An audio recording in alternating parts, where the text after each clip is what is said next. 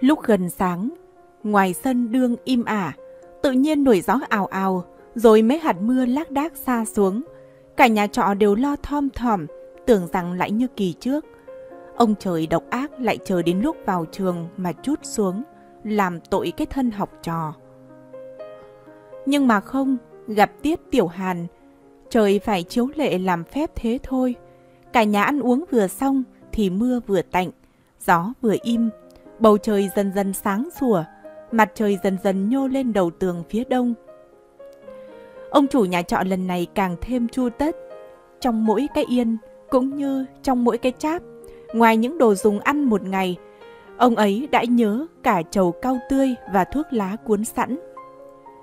Hơn nữa, ông ta còn mướn đâu được bốn anh con trai khỏe mạnh, nhanh nhảu, đưa xuống nhà ngang nhất định xin với các ông khách trọ để chúng mang đỡ lều trõng. Cố nhiên cái hảo tâm ấy không thể bị ai từ chối. Một lũ dài tấp nập kéo nhau ra cổng, sau đó đã dặn ông chủ làm sẵn đồ rượu để tối về nhà cùng uống cho vui. Vân Hạc bước rào đằng sau đốc cung với một giọng băn khoăn. Thằng Mẫn cũng được vào nốt có phải vui không? Vắng nó cũng thấy như thiếu cái gì ấy vậy. Đốc cung vẫn răm rắp cất gót. Không quay trở lại. Ừ, cái lúc mà nó hoạn đắc hoạn thất thì ai cũng phải bực mình. Nhưng nghĩ bốn thằng được vào, một mình nó hỏng thì cũng tội nghiệp. Trưa hôm qua, khi nó mếu máu chào chúng mình và vác bộ áo lều xuống thềm, tao vừa ái ngại vừa buồn cười, nhưng phải cố nằm không dám cười. Lúc ấy đứa nào vô phúc mà cười một tiếng, không khéo thì cả ra đánh nhau. Thấy nó hỏng thi cũng thương hại thật đấy, nhưng bây giờ mới hỏng, cũng là may cho nó lắm rồi. Nó thi cả thấy bốn khoa, thì ba khoa bị bay kinh nghĩa, khoa này mới được vào phú. Với sức học của nó như thế cũng là đủ lắm. Nếu nó được vào kỳ này, không khổ mày thì lại khổ tao, hay là khổ các anh tao. Nó vào cùng vi với thằng nào thì khổ thằng ấy. Kỳ đệ nhất, tao đã phải làm cho nó hai vế, hậu cổ bài kinh lễ. Kỳ đệ nhị, anh hai tao lại phải cúng nó một vần phú đấy. Vân Hạc vừa nói, vừa cố đi tới bên cạnh đốc cung, ngẩng lên thấy tiêm hồng, đoàn bằng, đã cách một quãng khá xa chàng tiếp. Thằng cha kia còn rốt hơn nó nhiều lắm, phải không mày? Một luồng gió bấc ù ù từ phía mặt thổi đến, hai người đều phải dùng mình. Đốc cùng khoác lấy cánh tay Vân Hạc và đi sát vào bên cạnh chàng cho đỡ rét rồi hỏi. Thằng nào? Thằng ấy. À, Trần Đức Trinh phải không? Nếu như được thằng Mẫn thì nó cần gì chúng mình? Sức học của nó chưa chắc đã được bằng lớp trung tập. Tao không hiểu nó định thi làm gì. Chăng nó chỉ cốt, cắp quyển vào trường để gỡ cái tiếng con nhà gia thế chứ gì. Con nhà gia thế ba mươi mấy tuổi đầu, không thi không cử thì cũng nhục cho cha mẹ lắm chứ. Nhưng tao lo quá, văn sách là kỳ nặng nhất. Một mình viết đến hai quyển thì viết làm sao? Không sợ, tao đã bảo rõ nó rồi. Tao bảo kỳ này nếu cậu vào nữa thì rất nguy hiểm. Là vì đến kỳ phúc hạch, lính tráng canh phòng giết lắm, không ai có thể làm gà cho. Và lại, những người được vào phúc hạch, 10 phần, chắc đỗ 9 phần, người ta phải để tâm lực lo vào quyền của người ta, không ai chịu đi làm mướn. Nó cũng nghe ra và cho lời tao là phải. Vậy thì đến khi vào trường, mày chỉ cốt viết lấy cái quyền của mày cho kỹ. Còn quyền của nó thì giáp qua loa cho nó chép. Miễn là khỏi có tội thì thôi, chứ không cần hay. Nếu làm hay, lỡ ra mà nó được vào phúc hạnh, tức là mày giết nó đấy. Thế thì được, đi thi chỉ cốt lấy hỏng, thì có khó gì? Nhưng sao mày không cho nó hỏng từ kỳ phú, có phải sướng cho nó không? Đốc cung mỉm cười. Nào tao có định làm cho nó vào. Mày tính cái lúc mưa rét như thế, Quyền của tao, tao cũng viết bậy viết bạ, huống chi là quyền làm mướn. Thật quả cái quyền của tao, chỉ viết quấy viết quá, chẳng ra nghĩa lý gì cả. Khi ở trường ra, Tao tưởng nếu cả trường chỉ hỏng một người cũng phải đến nó. Và giá bị hỏng ngay kỳ trước, nó cũng mãn nguyện lắm, vì đã là ông nhất trường rồi.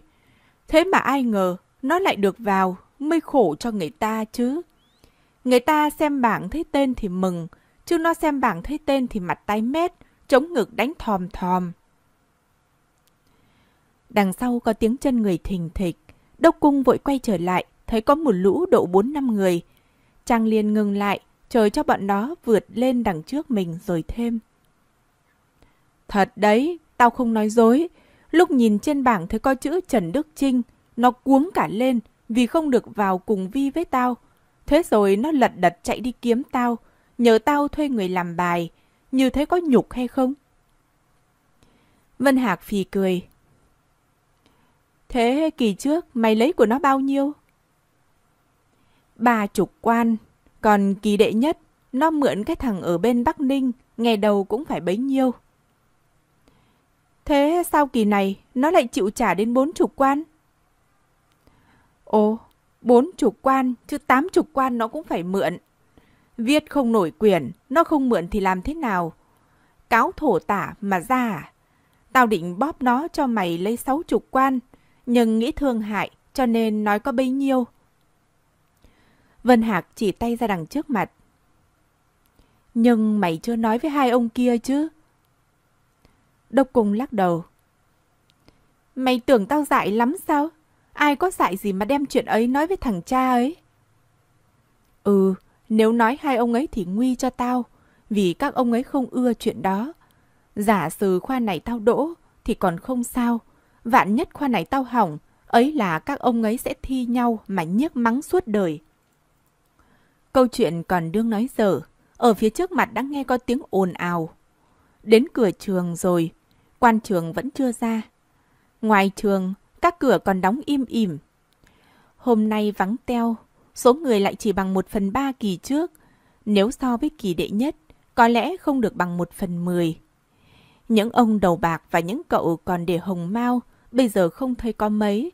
Phần đông đều là những người trong ngoài 40.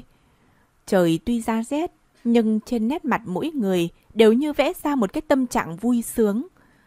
Phải, đã vào đến kỳ đệ tam, 10 phần chắc đỗ 7 rồi, không cử nhân cũng tú tài. Dù có hỏng nữa, cũng là một ông nhị trường, đủ cho thiên hạ phục mình học cứng.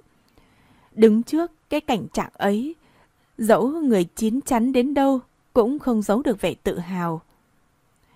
Người ta tự hào bằng những câu sáo rất cũ, Kỳ trước tao viết bất thành văn lý, thế mà cũng vào, có chết hay không? Tao không học hành gì cả, sách vở quên như hũ nút. Lát nữa, không khéo đến nộp quyển trắng mà ra. Giữa tiếng ầm ầm của đám đông trong trường, giật giọng điểm một hồi trống cái. Cửa trường ngỏ toang, hai ông tránh phó chủ khảo dõng dạc từ nhà thập đạo đi ra với cờ, biển, lọng. Kỳ này còn ít học trò, hai vi tả hữu không phải dùng đến, chỉ thi ở hai vi giáp ất. Vân Hạc vào vi ất, Tiêm Hồng, Đoàn Bằng và Đốc Cung đều vào vi giáp. Vì tên mình mãi cuối bảng, phải vào sau, hai chàng dắt nhau đùng đỉnh đi rong. Thình lình nghe đằng sau có tiếng người hỏi.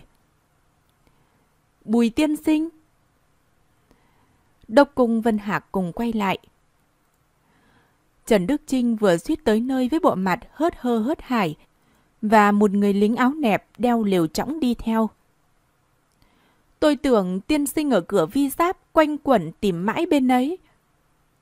Chúng tôi cũng đương tìm cậu.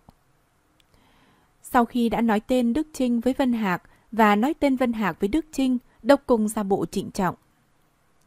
Hai ông cứ việc nói chuyện tự nhiên, tôi sang bên kia. Rồi chàng lật đật quay lại cửa vi ớt. Vân Hạc đứng lại bên cạnh Đức Trinh. Tên cậu ở trên tên tôi phải không? Đức Trinh chưa hết chống ngực, chàng vừa thở vừa trả lời bằng giọng lễ phép. Thưa vâng, tên tôi ở trên tên ngài độ bốn chục người. Hôm nay chắc rằng người ta canh phòng nghiêm ngặt hơn những hôm trước. Vậy cậu vào trước thì nhớ đóng lều ở chỗ cách nhà thập đạo thật xa, nhưng cũng nên đóng vào nơi đông người. Đừng đóng lẻ loi ra gần bờ rào. Rồi khi tôi vào, tôi sẽ tìm đến chỗ cậu. Hồi trống nhập khẩu ở nhà thập đạo đi ra đã điểm mau nhịp rồi. Nói dứt mạch bằng ba tiếng rõng rạc cuối cùng. Lọng vàng lọng xanh trịnh trọng rước ông phó chủ khảo và chiếc biển phụng chỉ lên mặt ghế chéo. Chồng quyền cạnh quan phó chủ khảo đã chuyển lên tay người lại phòng. Người lính cầm loa và bọn lính thể sát tới tấp ai làm việc nấy. Bởi vì số người đã thưa, học trò không phải len lỏi, chen trọi như các kỳ trước. Cái loa của người lính áo nẹp đương ẩm ẹ ở trên ghế chéo, phía sau đám đông bỗng có tiếng trống khẩu đổ hồi. Những người đứng trong ngơ ngác hỏi nhau và nhất tề quay mặt ra ngoài. Đám người lần lần rẽ sang hai bên như hai đàn vịt.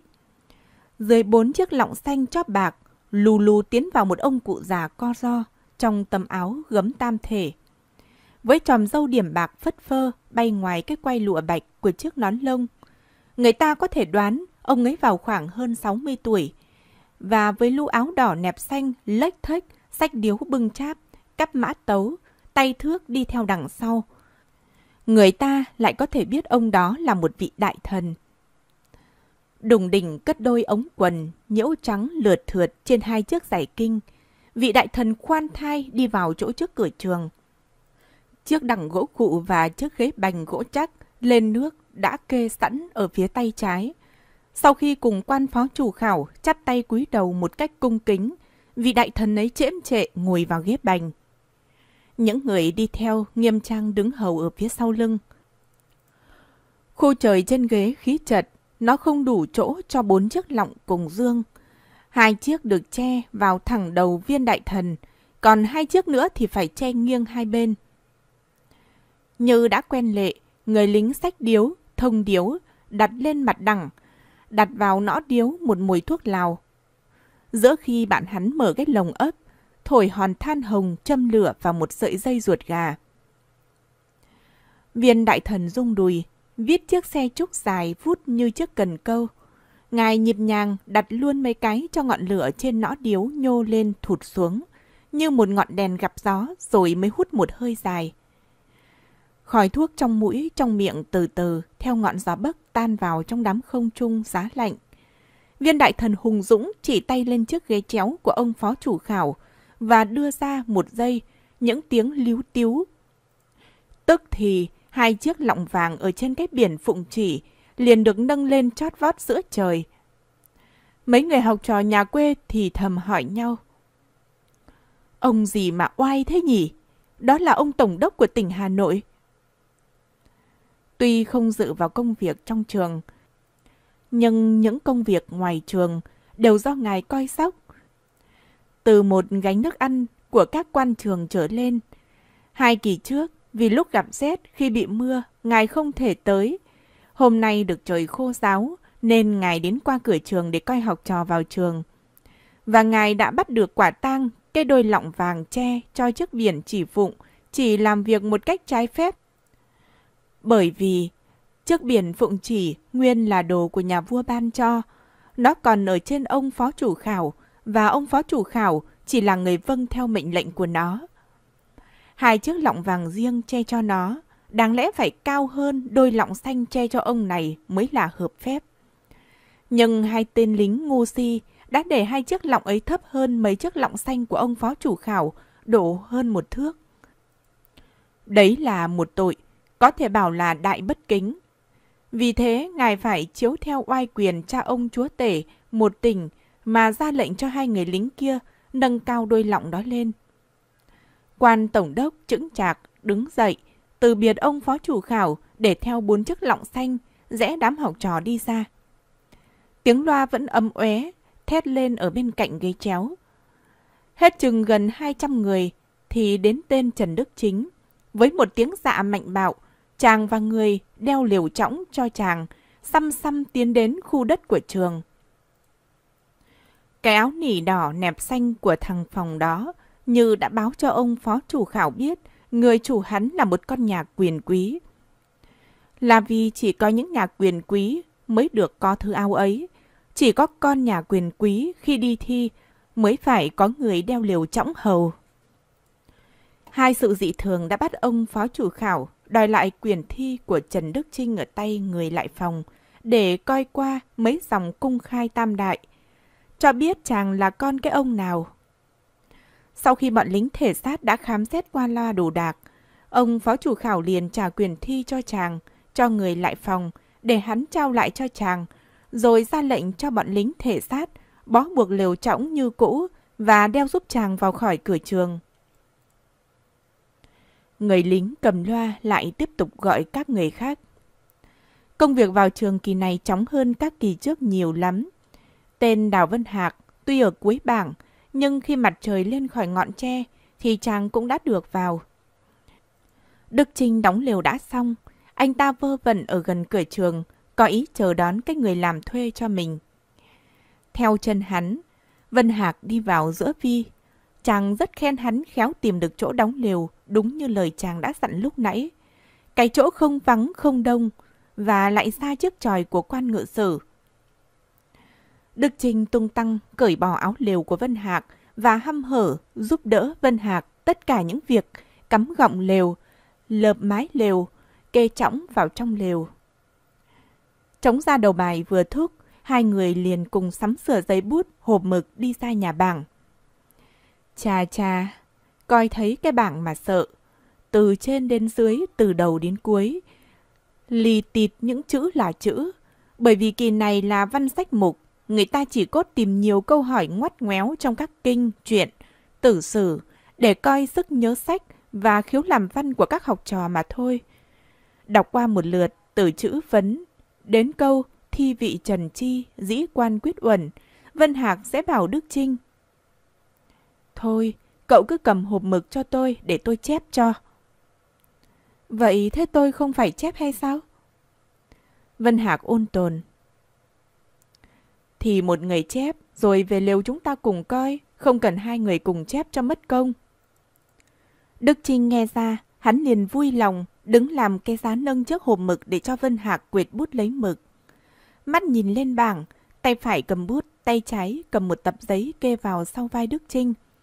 Vân Hạc viết lia lịa một hồi, vừa được một tờ toàn là chữ thảo lòi tói. Chàng đưa tờ ấy cho Đức Trinh cầm, để mình lại viết tờ khác. Đức Trinh ngó qua liền nói một cách hoảng hốt. Chết chửa, ông viết thấu quá thế này, tôi không thể nhận ra chữ gì. Tờ sau trở đi, xin ông viết rõ ràng hơn một chút. Vân Hạc có ý bực mình nhưng vẫn ngọt ngào. Được, cậu không lo, chữ gì không biết, lát nữa tôi sẽ đọc cho. Rồi chàng lại tiếp tục ngoáy luôn một mạch.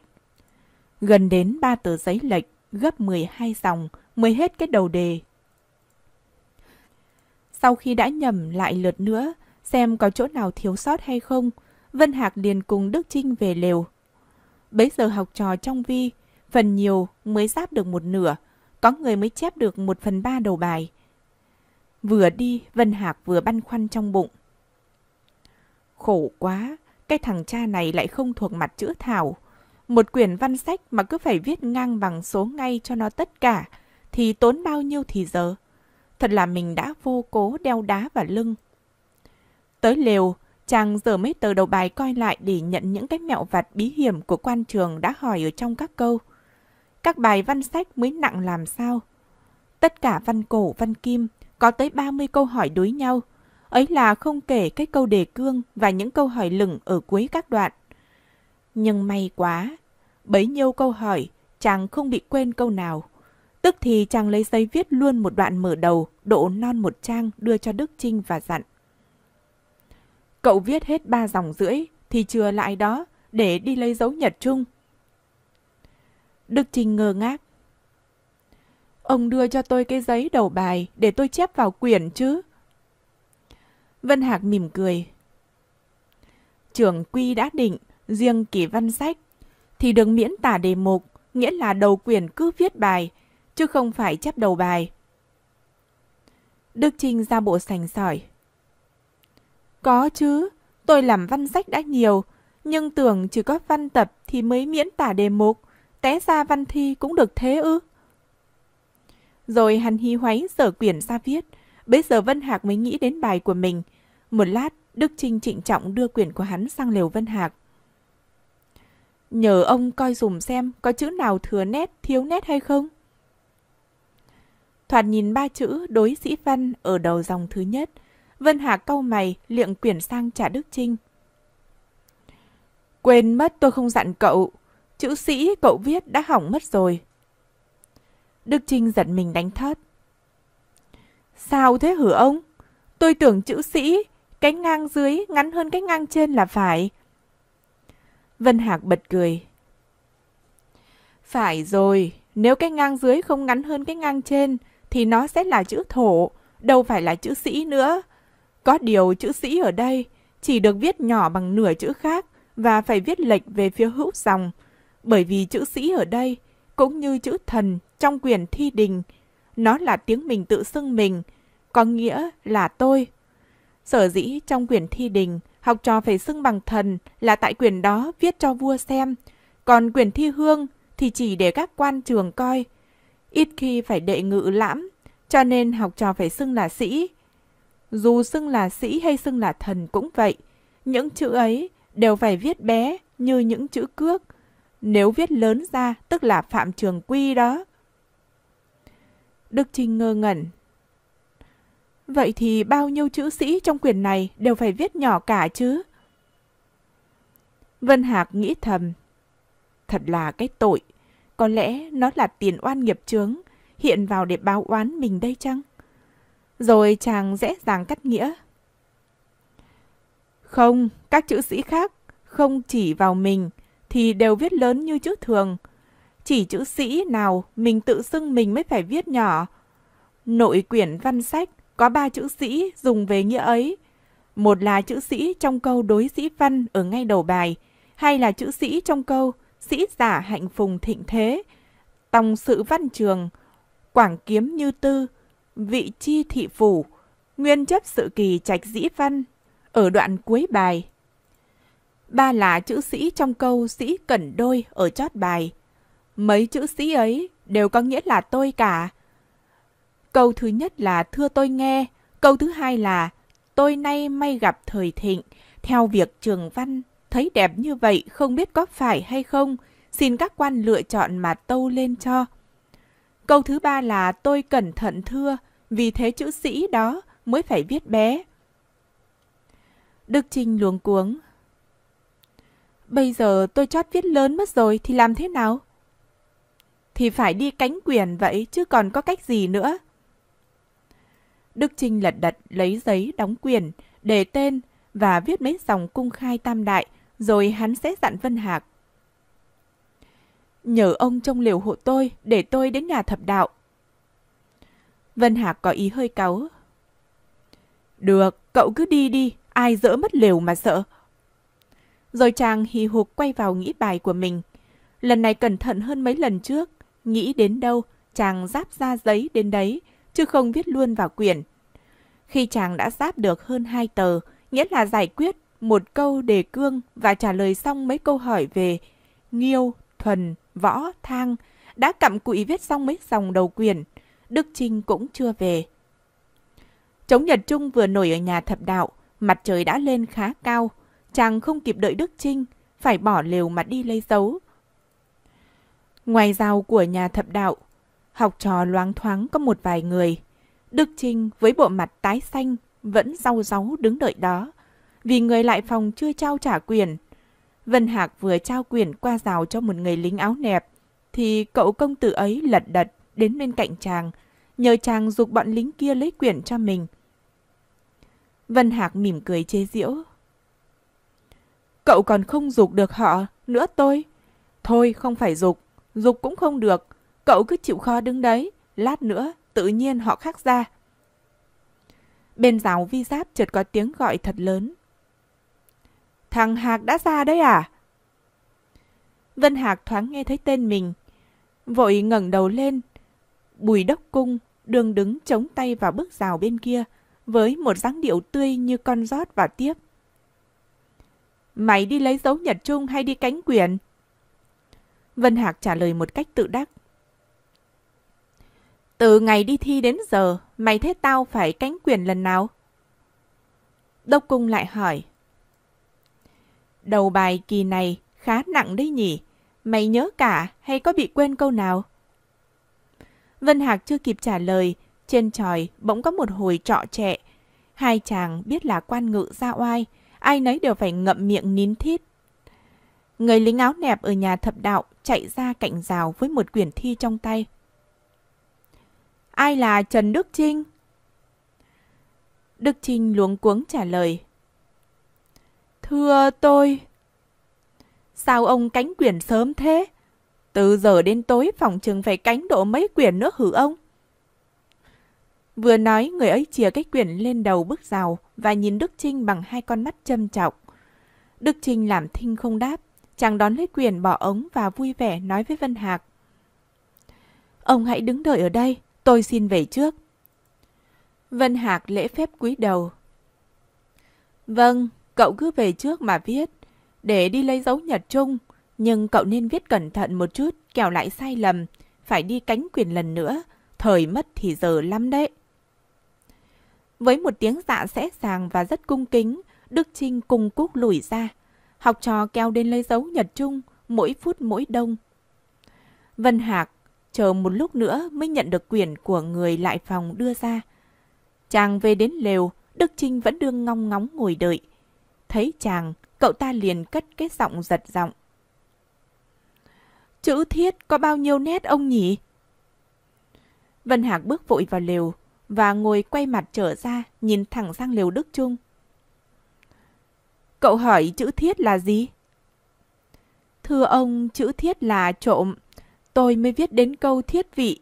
Vì trong bản giáp, ông viết đá thảo. Tôi không nhận ra mấy nét nên còn chờ để hỏi ông. 22 nét tất cả, nếu viết 21 nét thì hỏng. Đức Trinh ra bộ mừng rỡ. May quá, chút nữa thì tôi viết chữ thiết đơn. Vân Hạc xua tay lia lịa. Ấy chết, không được viết đơn. Chữ gì cũng vậy, nếu viết đơn sẽ bị đánh là bạch tự. Rồi hai người cùng quay trở vào, ai nấy cúi xuống mặt quyển, cắm đầu mà viết. Đức Trinh vừa viết vừa nhầm bản giáp và đếm từng nét. Miệng hắn luôn luôn lầm rầm như bọn thầy bói nhầm quẻ. Lâu lâu, hắn viết được nửa dòng thứ tư, lại sẽ tuôn quyển sang Liều Vân Hạc để chàng coi hộ. Lần này trong mấy dòng không bị sai lầm chỗ nào.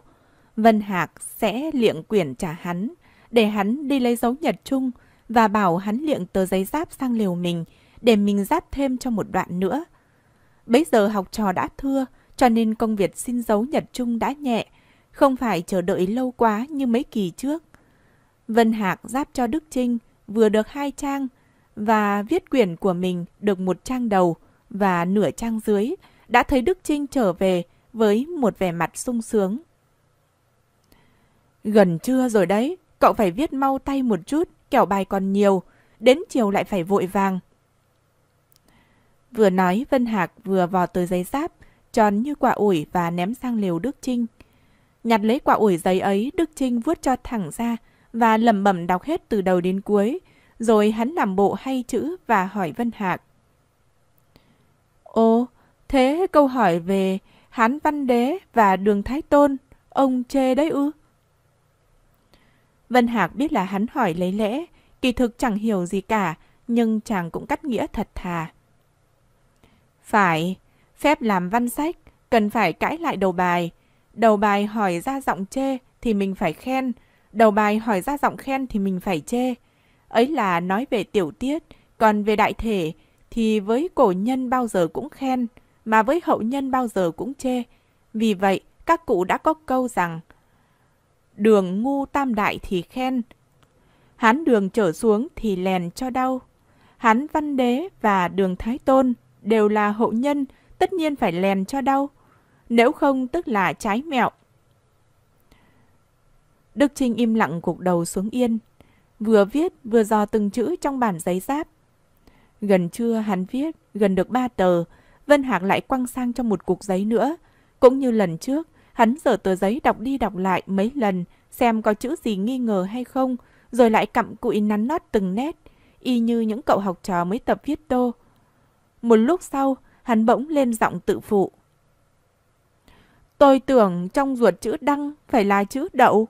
Làm sao ở trên chữ khẩu ông viết thiếu cái ngang con? Hay là ông lầm? Vân Hạc đương để tâm trí vào một đoạn văn ngoắt ngoéo thì thình lình bị câu hỏi ấy đập vào bên tai. Làm cho dây tư tưởng tự nhiên ngừng lại, chàng hơi bực mình. Cậu không coi bảng chữ húy người ta yết ở cửa trường từ kỳ đệ nhất hay sao? Đức Trinh ngay thật trả lời. Có, tôi có coi, nhưng tôi không thấy nói đến chữ đăng. Thế thì có họa lúc ấy mắt cậu quáng nắng.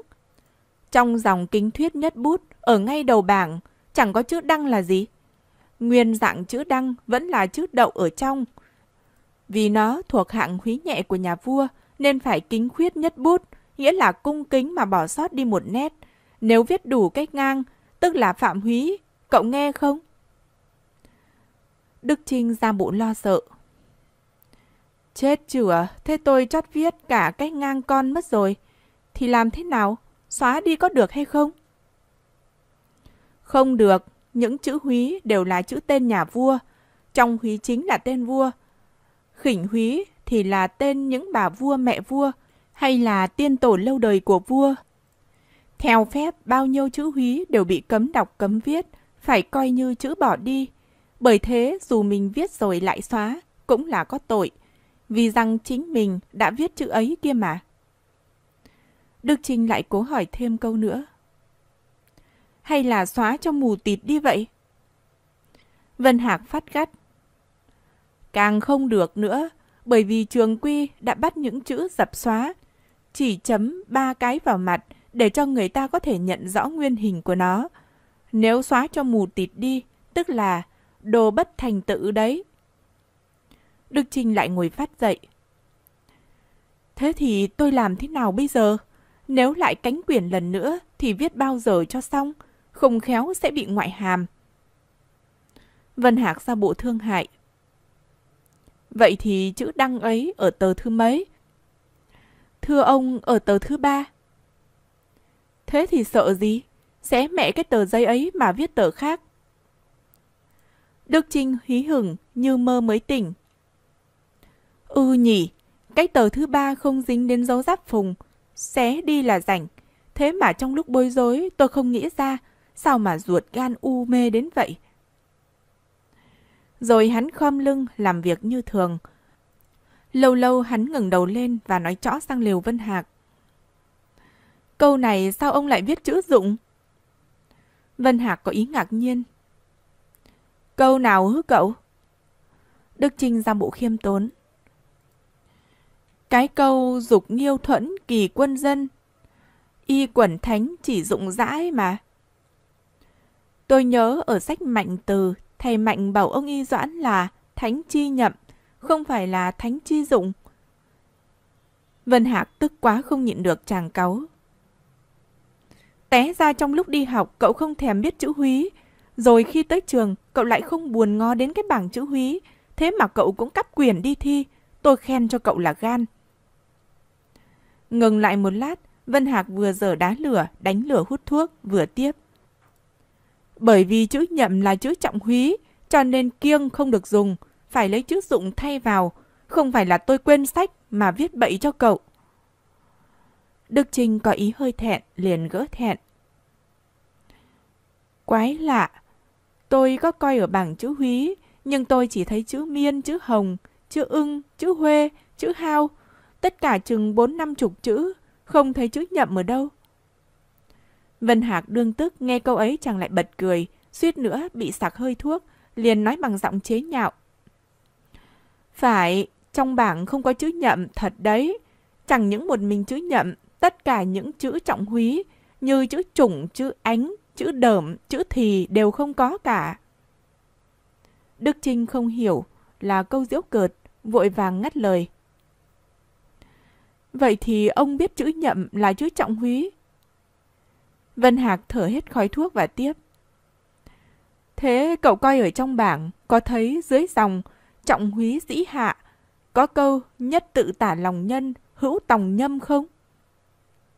Có, tôi có thấy, và còn nhiều chữ nhất tự khác, như là nhất tự tả tòng nhật, hữu tòng ương.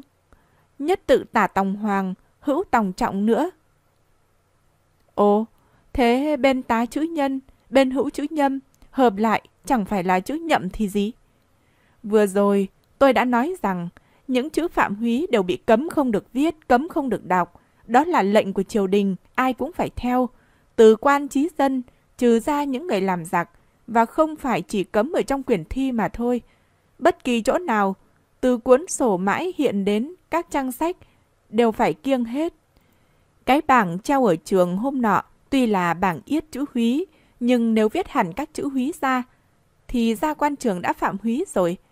Vì thế, những chữ khinh húy người ta mới viết thiếu đi một nét, và những chữ trọng húy thì họ tách ra từng mảnh. Coi đến chỗ đó mình phải hiểu ngầm trong bụng. Thí dụ, thấy viết bên tả chữ nhật bên hữu chữ ương, thì biết nó là chữ ánh. Thấy viết bên tả chữ hòa bên hữu chữ trọng, thì biết là chữ trùng. Một sự dễ dàng như thế mà sao cậu cũng không hiểu. Thôi, từ giờ đến tối, cậu cứ coi vào bản giáp.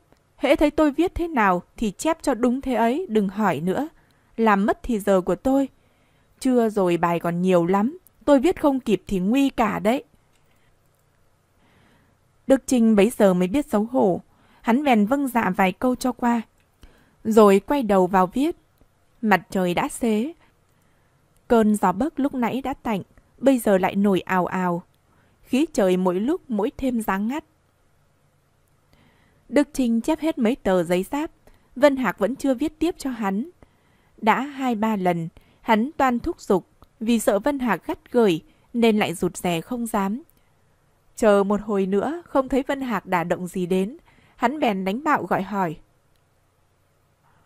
Ông Đào, thưa ông, những tờ giấy trước tôi đã viết xong rồi ạ.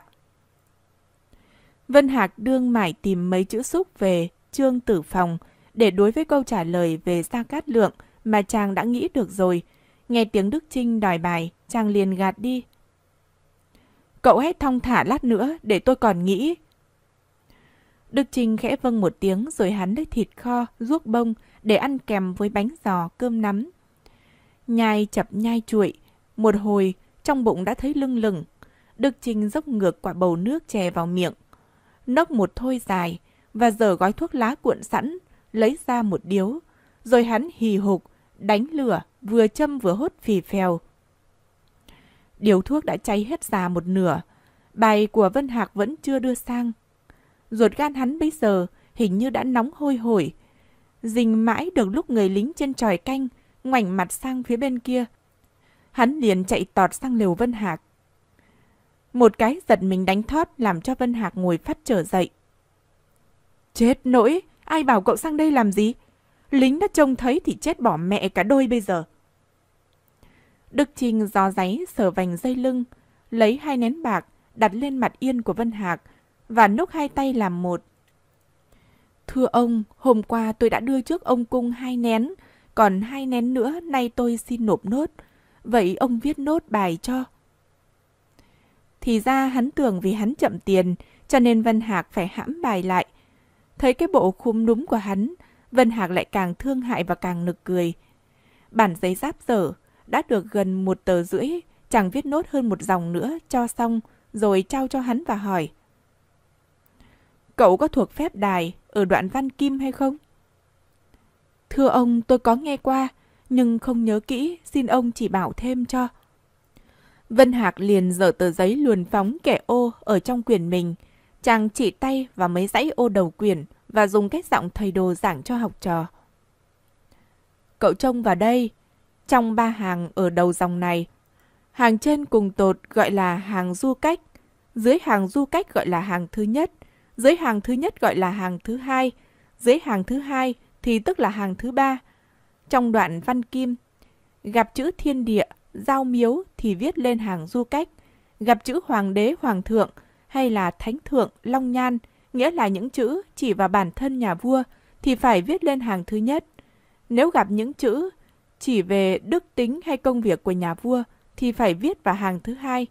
Còn những chữ thuộc về văn bài thì viết từ hàng thứ ba trở xuống. Cậu nhớ lấy nhé. Đức Trinh ra bộ ngơ ngác. Tôi chưa nghe ra. Thế nào là chữ thuộc về đức tính và công việc của nhà vua? Ông nói lại cho. Vân Hạc kéo tờ giấy giáp trong tay Đức Trinh và trải xuống trõng, rồi chỉ tay vào một dòng ở đoạn văn kim. Cậu hãy cắt nghĩa cho tôi đoạn này. Đức Trinh nhìn qua một lượt rồi rụt rè. Tôi không hiểu lắm, ông giảng dùng cho. Vân Hạc liền đọc. Phụng kim ngã hoàng thượng, thông minh tác tắc, khải để phi cương. Dĩ kiền kiện di tư, phủ thái hanh chi vận. Mấy câu đó cũng như câu có nghĩa sĩ phải viết nhỏ mà tôi đã nói với cậu sáng nay. Đều là câu sáo trong sách kim, bất kỳ bài nào cũng có. Nghĩa đen của nó thế này này.